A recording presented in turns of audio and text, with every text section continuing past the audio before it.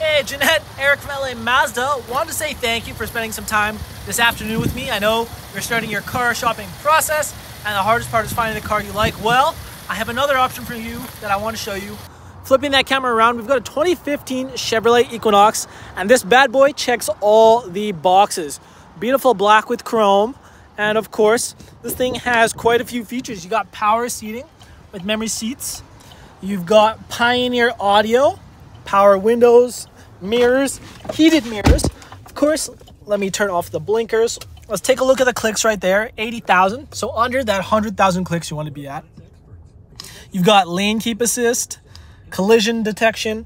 You've got your audio controls here. And let's take a look at this console.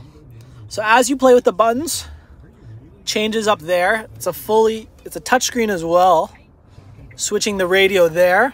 You've got your heated seats with three options, as well as that shifter down here, sunroof, and you've got controls for the sunroof there, as well as opening the lift gate. Now you've got beautifully maintained black leather seats with red stitching all over. And you know, I really just want to take the time to show you this option that we do have for you. Turning the lights off. Let's go take a look at the back now. And let's use this button. Have it open three quarters of the way Let's unlock these doors and let's take a look. Ah, perfect. So now it should open three quarters of the way.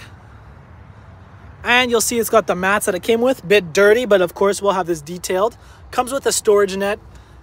And there's the seats with heating in the back. Let's take a look at the back row now. You can have rear climate control as well as some sort of audio inputs. Uh, oh, sorry. And there's TVs here. For what purpose? I don't know, but you know, you've got TVs just in case if you need.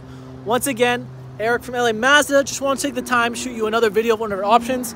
Can't wait to hear back from you and hear how your dinner was with Karen. Uh, yeah, so take care.